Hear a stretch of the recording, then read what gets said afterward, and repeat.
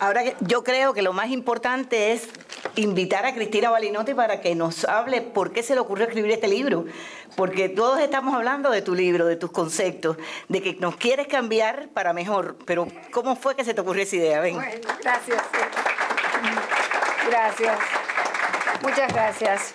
Gracias a todos por estar aquí en este día, que no está muy lindo. Gracias fundamentalmente a este grupo de amigos que aceptó hoy hablar acerca del libro, a Roberto, que voy siempre a sus programas radiales, la televisión, a Luis Díaz, bueno, tantos años de amistad juntos en la televisión también, eh, a Raiza Perro, que fue la primera que inició conmigo todo lo que es el movimiento eh, que dio origen eh, mi libro. Bueno, Kiko, eh, con su eh, estupenda edición de este libro y por supuesto Giovanni, que el primer, eh, la primera conferencia que di aquí en Miami lo hice en Artspoken, un lugar espectacular con unas obras de primer nivel, un, realmente un teatro en serio que necesitamos acá en la ciudad, el de, el de Giovanni. Gracias a todos. Em, ustedes saben que vivimos épocas del hiperdesarrollo tecnológico y del subdesarrollo familiar épocas en las que eh, aprendemos de todo, menos a ser padres, menos a educar a los hijos, a decir que no más a menudo, a disciplinar. Tenemos miedo de los hijos. Esta época se caracteriza por el miedo a los hijos. No sea cosa que el nene se ofenda, que el nene se traumatice si yo le pongo un límite. Y la realidad es que los seres humanos nos desarrollamos entre límites. La libertad se ejerce entre límites.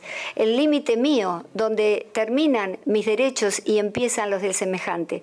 Esa pedagogía que las mujeres hemos olvidado, porque claro, estamos muy preocupadas eh, por el poder, por, eh, por desarrollarnos económicamente. Esta es una cultura que enseña de todo, es decir, hay cursos para ser mejores negociadores, eh, cursos eh, eh, para ganar más dinero, pero no hay cursos para ser verdaderos padres. ¿Qué significa la familia? Yo en este libro propongo una organización que se llama la Universidad de la Familia. Es decir, una carrera en donde yo antes de casarme y tomar este, este, esta sagrada responsabilidad de desarrollar la vida, el, el cuerpo y la psicología de un hijo, yo tengo que saber un montón de cosas y las debo aprender. Debo saber qué necesita el niño en cada etapa de la vida, quién soy yo y cómo debo desenvolverme como padre o madre en cada etapa de la vida del hijo. Si todas estas cosas eh, que realmente desconocemos. Y entonces eh, somos padres como si solamente eh, fuera necesario con las ganas. Y en realidad necesitamos formación. En una época en donde el gran problema es la falta de comunicación, es una época en donde lo que sucede en un pequeño pueblito de China se conoce en todas partes del mundo, sin embargo no nos comunicamos. ¿eh? En el seno del hogar no hablamos. Como algunos han mencionado, eh, interponemos eh, tabletas, interponemos celulares. Y esto realmente está causando un problema en la sociedad muy severo, que es el problema en que nuestros adolescentes se escapan de la casa, nuestros adolescentes masacran, se suicidan. ¿Por qué? Porque hay una ausencia de la madre en el hogar y un debilitamiento de la autoridad paterna. Mi libro rescata al hombre, que el feminismo lo ha sacado de lado y nos ha dicho, las mujeres podemos todo, no es necesario tener un hombre al lado. Sí, es necesario cuando se tienen hijos tener un hombre al lado, porque la función del padre es una función capital en el desarrollo de los hijos.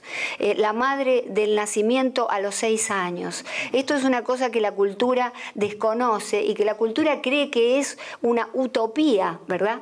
Algo que no se puede lograr. Sin embargo, todo el psiquismo humano, el desarrollo, todo lo que somos nosotros eh, de adultos es lo que nuestros padres sembraron entre el nacimiento y los seis años. De ahí la importancia. Y ustedes me dirán, bueno, pero si tiene a la mamá o a la tía o a la abuela, eh, ¿cuál es el problema? Ese latido cardíaco que escuchamos al comienzo, ese es el latido del mamá que se escuchó durante nueve meses. No es el latido de la abuela, no es el latido de la niñera, es el latido de mamá. Si mi hijo está conmigo en mi vientre nueve meses, ¿cuál es la razón por la cual yo a los tres meses de nacido lo tengo que dejar en manos de alguien que lo, que lo críe? Yo creo que esta es la gran pregunta que tenemos que hacernos de cara a, futuras eh, familias más sanas. Ustedes saben que desde el punto de vista psicológico hay un incremento muy grande de patologías psiquiátricas. Es decir, hay, muchos, hay mucho más autismo, hay mucha más eh, bipolaridad, eh, hay mucho más drogas. La droga, tantos niños que se dan a la droga. ¿Tú sabes lo que significa adicto? Significa, eh, desde el latín, sin palabra. Esto quiere decir que cuando tú no tienes una palabra para expresar lo que te sucede, quiero estar con mamá, quiero que me escuchen, quiero tener a mis padres en casa, entonces buscas afuera una solución que es en realidad una ilusión. La droga me da momentáneamente esta ilusión de que soy feliz, pero en realidad soy muy infeliz porque no tengo lo fundamental. Es decir, eh, eh, tenemos que ser los padres aquellos, pero fundamentalmente la mamá los primeros años, los que nos encarguemos de los hijos. Y yo no hablo de la madre eh, de los años 50, no estoy hablando de una mujer esclava del hogar que se dedica a plancharle al marido, y no estoy hablando de eso porque debemos aceptar eh, esta invasión tecnológica que es desarrollo al fin.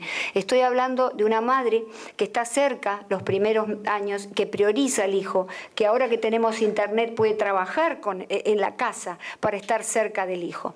Hay cosas fundamentales que solamente una madre que da el, lenguaje materno, que da el, primer abrazo, la primera mirada, nosotros lo tenemos que hacer, porque el organismo nos, nos prepara ¿no? para tener todas estas hormonas, particularmente la oxitocina. Usted sabe que la oxitocina es la hormona del amor y del enamoramiento, eso que sentimos cuando estamos enamorados de alguien, pero resulta que también eh, liberamos esta hormona cuando estamos embarazadas en el parto y entonces eso nos hace enamorarnos de nuestro hijo y entiéndase bien, es un amor capital, un amor que entrañable, que nos une. Yo debo estar enamorada de mi hijo para poder realmente criarlo y estar los primeros eh, tiempos con él. Entonces, eh, lo que yo aconsejo a las mujeres yo soy grande, mi hija está allí, mi nieta, tengo otro hijo en Argentina. Lo que yo aconsejo a las mujeres que quieren casarse, eh, vamos a, saber primero quiénes somos.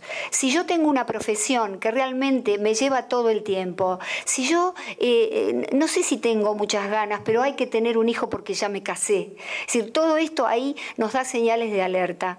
No tengamos un hijo. Tener un hijo es un llamado fundamental, es una vocación, es algo que lo podemos realizar si lo sentimos, pero que tenemos que dejarlo de lado si no lo sentimos. No hay obligación de tener hijos. La cultura nos dice a la mujer, tú puedes ser excelente amante, puedes estar flaca, puedes ir a eh, criar los hijos, eh, puedes trabajar, llegar a la casa, hacer los deberes y limpiar.